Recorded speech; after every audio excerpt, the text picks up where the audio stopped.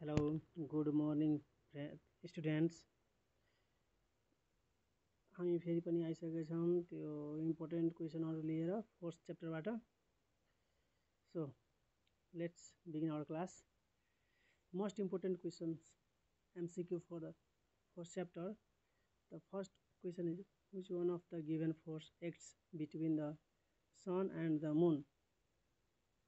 answer is gravitational force second question is which one of the following is the correct value of g it is g is the gravity here acceleration due to gravity so what is the answer answer is 9.8 meter per second square third question is which one of the following is the correct value of g gravitational constant the correct answer is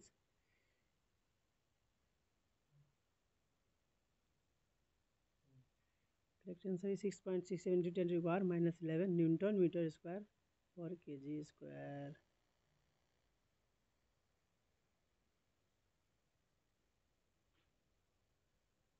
Question number 4. What is the gravitational force acting between A and B? Answer is A. How कसरी हो एक एकचोटि हेरिहालौँ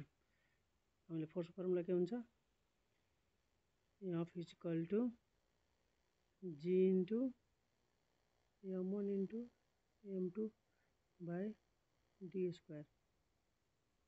so G equal to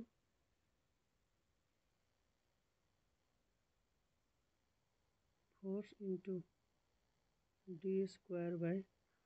M one into M two and put the value so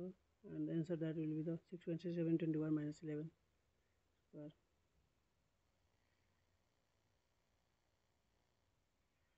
question number 5 when the mass of a body is doubled and the another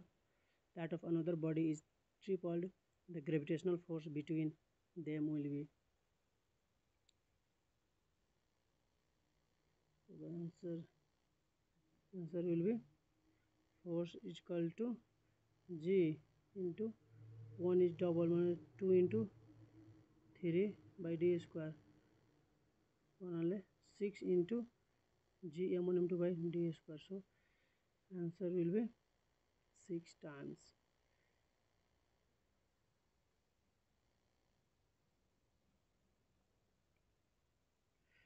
question number six what is the acceleration due to gravity on the moon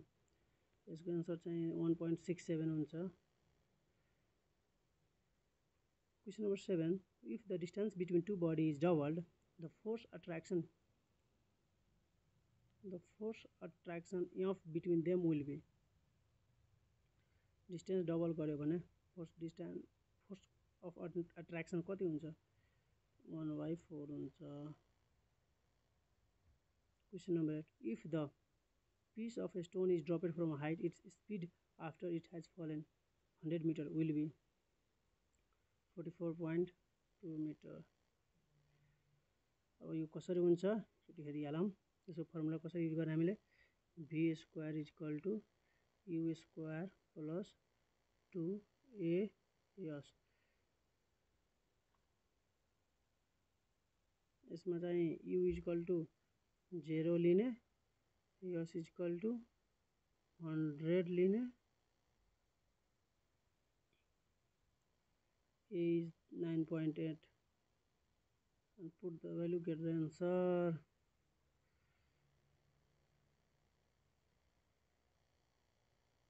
Move to the next questions. What is the acceleration due to gravity? What acceleration due to gravity is zero at centre of अर्थ यसको चाहिँ खासमा के हुनुपर्ने where the acceleration due to gravity is zero sorry for that there is what that answer is the centre of earth a feather and a coin released at the same time from the same height do not reaches the ground at the same time because of the air resistance question number 11 how much would a person mass is sixty KG weight on the moon अर्थमा यदि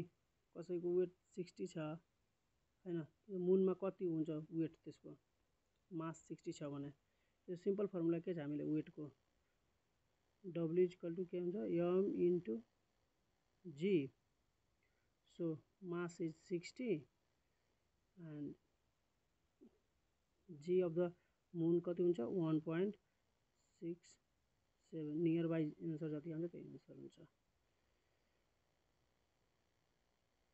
सो यसको answer हुन्छ कति ninety eight newton आउँछ गर्नुहोला question number twelve what is the relation between weight of the body and the acceleration due to gravity directly proportional हुन्छ भर्खर formula लेखेको थियौँ हामीले question thirteen which of the following statements are correct the value of g increases when the mass of body increases the value of increases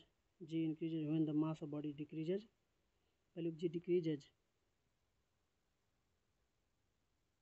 when the mass is increases g so our answer is d value of g increases when the radius decreases so formula क्या बन जाए small g is equal to g m by d square अब radius घट्यो भने के हुन्छ radius घट्यो भने जी त बढिहाल्छ इन्डाइरेक्टली इन्भर्सली प्रोपोर्सनल छ त्यही भएर question number forty the weight of body of mass fifty KG is maximum at maximum कहाँ हुन्छ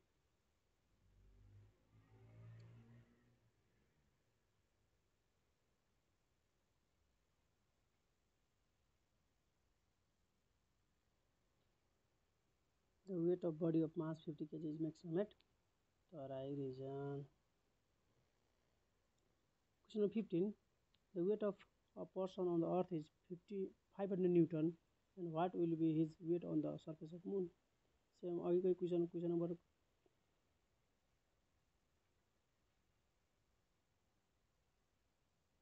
इलेभेनको जस्तै गर्ने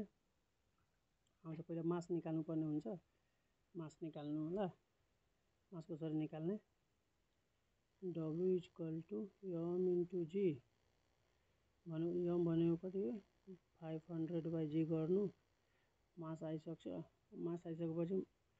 मुनको कति हुन्छ जी त्यसले मल्टिप्लाई गरेर एंसर लाउनु यसको एन्सर चाहिँ हुन्छ तपाईँको eighty three point sixteen which of the following statement are correct Question number 16. Which of the following statements are correct? V is equal to U plus 80. V square is equal to U square plus 2AS.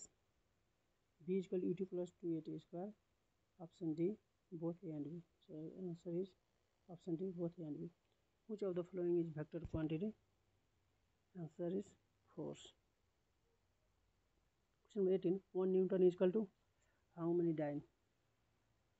इसका answer चाहिए ten to five dyne is equal to 1 joule 1 joule is equal to 110 to the power 7 org e r org 7 org हुन्छ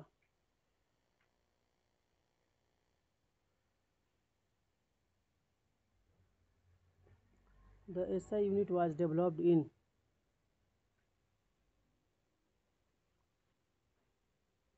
यसको answer हुन्छ तपाईँको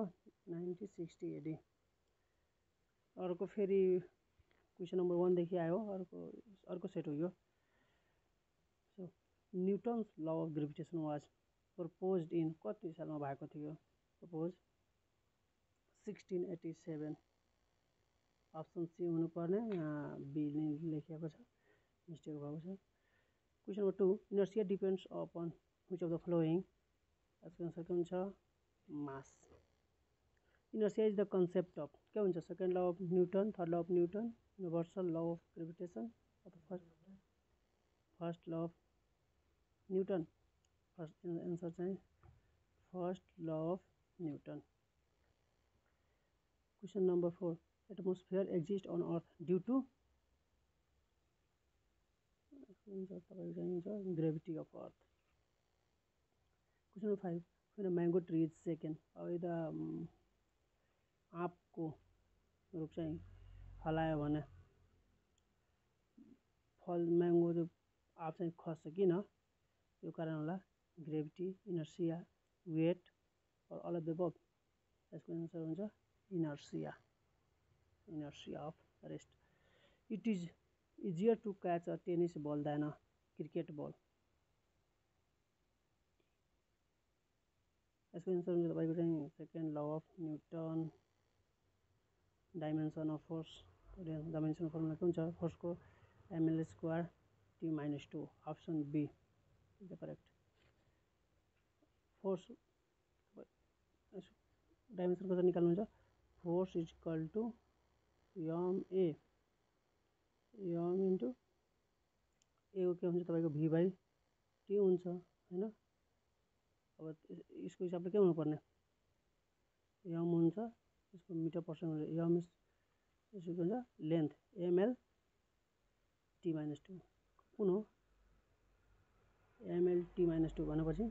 option C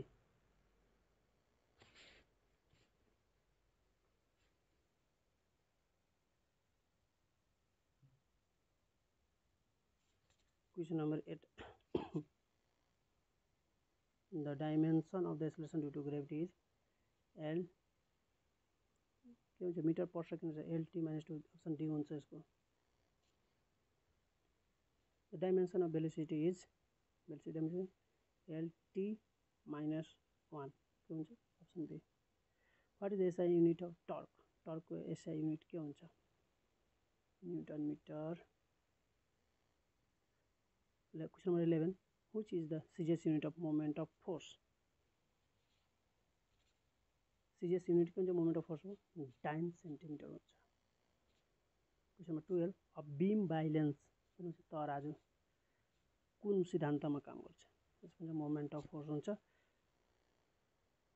has thank you please do subscribe and like my YouTube channel अब यस्तै भिडियोहरू हेर्नको लागि कृपया save गर्नुहोला हस् धन्यवाद